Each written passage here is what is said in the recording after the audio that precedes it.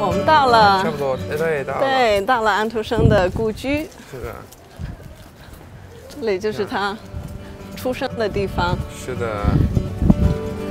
你对安徒生的童话你知道有多少？有读过吗？就许多，因为在学校里我们我们读了他的故事。呃，不过对我来说，嗯，丑小鸭，嗯，是是最好的故事，我觉得。